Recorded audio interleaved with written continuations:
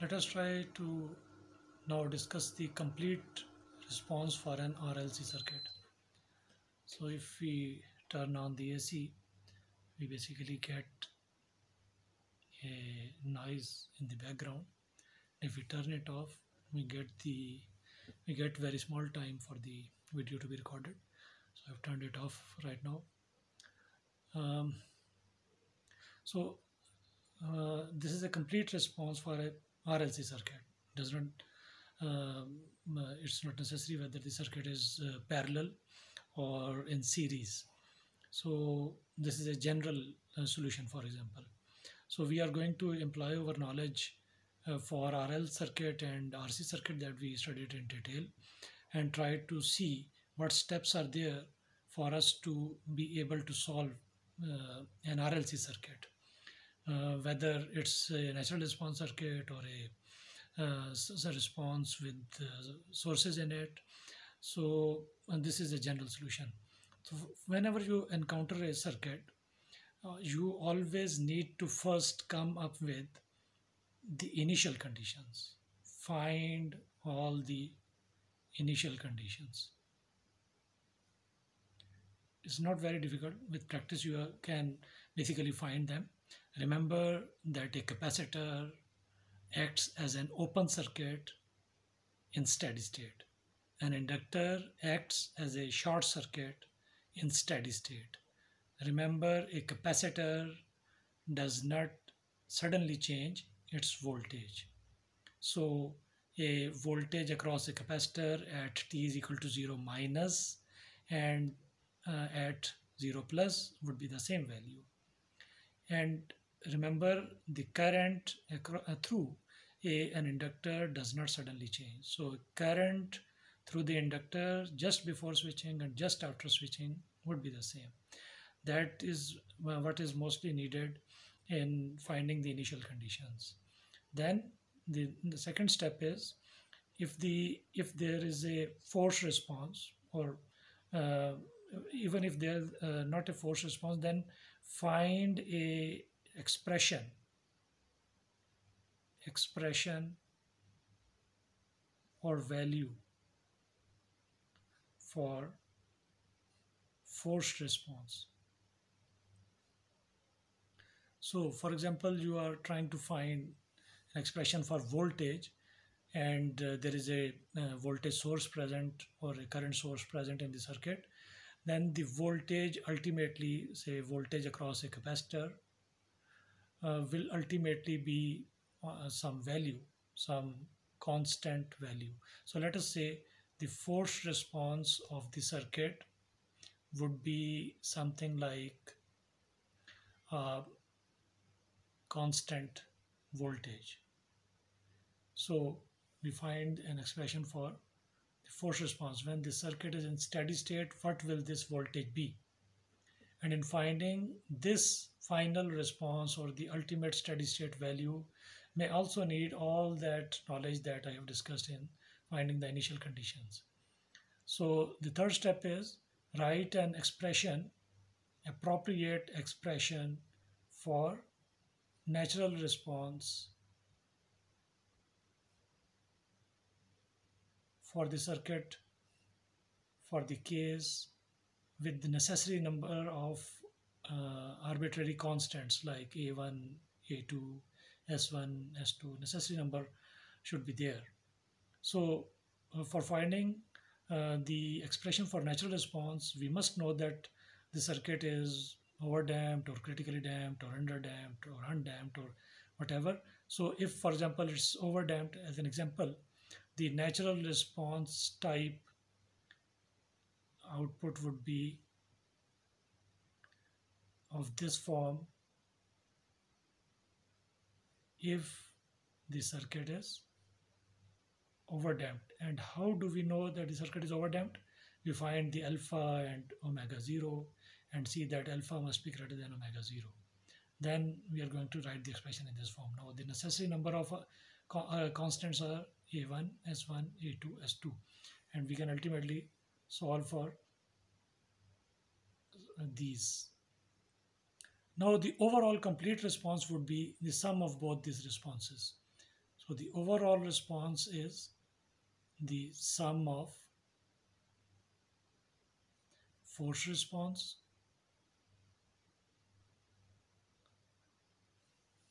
and natural response is the complete response. So if we are trying to find some voltage, then that voltage would be the force response part plus the natural response part. So we may get something like the final value, say the final value of voltage plus A1 e raised power s1t plus A2 e raised power s2t. Yes, uh, a circuit with uh, sources in it will also have an alpha that would be computed much in the same way. If it is a parallel RLC circuit, the alpha would be equal to 1 over 2 RC and if it's a series RLC circuit, then the alpha would be equal to L over 2R uh, or sorry, uh, R over 2L. So, and the last case is when we have an expression, then the last thing is we need to evaluate this expression evaluate this expression at t is equal to 0 and then also evaluate the derivative of this expression at t is equal to 0. So what does this mean? We need to find the expression for v at 0 and what does this mean? We need to find the expression for dv by dt at 0 and we will get two equations one here, one here, and we can solve those two equations to find a1 and a2. And once this is known, because this is a constant, we would have found it here. So every everything would be known. Obviously, this process can be ultimately understood by taking an example. So let me let me take an example from the book. The book draws this very simple and interesting circuit and implies that unit step function here. For ut ampere is this current source. A 3 henry inductor. We have a resistor. We have a capacitor. Again an unusual value of the capacitance maybe to simplify calculation. And we have a source here as well a current source of 5 ampere. Now you see there is no ut here but a ut here. So before t is equal to 0 there was no current flowing here. This was 0 so this was not in the picture but it was there. This source was there at that time as well. So this source is there from minus infinity and remains there remains there till positive infinity. But this source was not there for all the negative time and it came into action at t is equal to 0 so for this case let us try to see what we need to do uh, how to find the initial condition. so remember our interest develops at t is equal to 0 so by using this circuit by implying this circuit we assume that uh, we know we know that the circuit uh, for this DC sources case is at steady state at this point. The circuit is in steady state at t is equal to 0 minus. And at this time interval, what would be happening here? We will have, we, we will not have this here, okay? We will not have this here, so it is not here. We will have an inductor actually. In steady state, the inductor opens, uh, sorry, shorts, an inductor shorts so we have a short circuit here.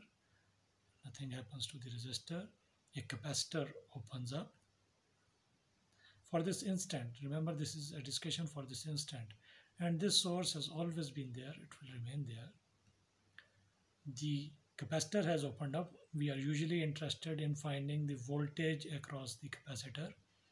We are usually interested in finding the current through the inductor I have taken my own uh, polarity values and the direction of the current. The book may not may have something different, but it does not matter. We should be able to understand the basic uh, concept polarities and directions should be taken care of when finding the polarities and uh, values uh, values of voltages and currents so what do you think would be the voltage here remember this would be vc 0 minus and what would be this current il at 0 minus?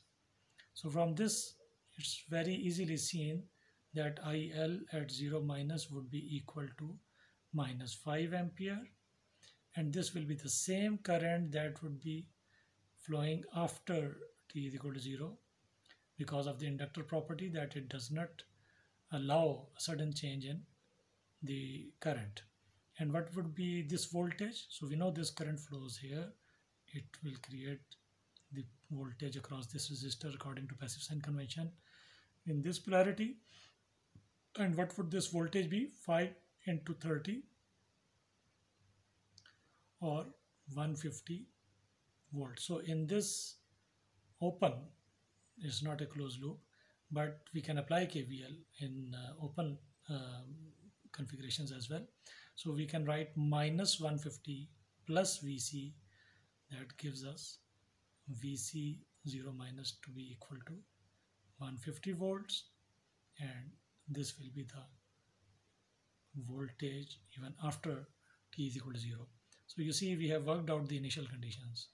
Now for the same circuit if we need to find the final value, the expression for the force response, ultimately what will flow uh, in the circuit at t infinity. So when this source comes in this is already there. The circuit again gets to a steady state. Now we have a 4 ampere source here. Inductor has shorted out and we are trying to find IL at infinity. There is this resistor 30 ohm resistor and we are trying to find the voltage VC at infinity and we have this 5 ampere source here. So this current will again create a voltage of 150 volts across this uh, resistor and all this current is going to flow in here downward and this current also would flow here. This current must flow here and not go here because this is an easier path. Why it chooses this difficult path. So IL at infinity would be 4 plus 5 both flowing downward. 9 ampere in fact the negative of this thing because of the direction I have taken the upward direction both are flowing downward. So we are going to have minus 9 ampere. So you see at t is equal to 0 things started for the inductor at, uh, for minus 5 ampere with minus 5 ampere current and ultimately settle down to minus 9 ampere. So the settling value is not zero in, as in the case of uh, the natural response circuits. And what will be um, this VC? It stays there. So VC at infinity remains 150 volt. So when the circuit started, we had 150 volts across the capacitor. When it finally settled down, it had 150 volt there as well. Does not mean that uh, it will remain 150 volt throughout.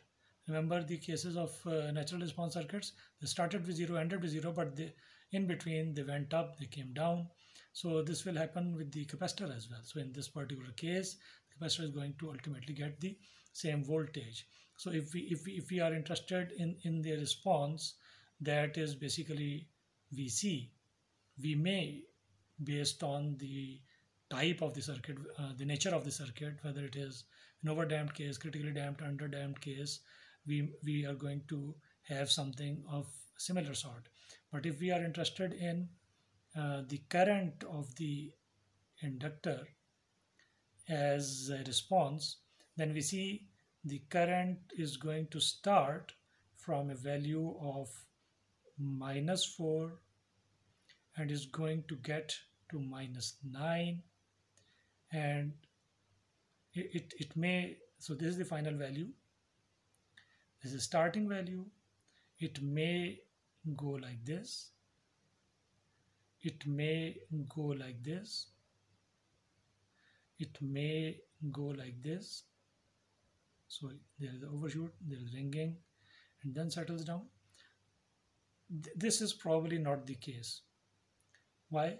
Because there are two energy storing elements. So they are going to exchange energy. This is not an RL case or RC case that it does not go beyond the settling value. When the circuit has only one energy storing element it cannot overshoot that that value. However it's not very clear. This may be the case.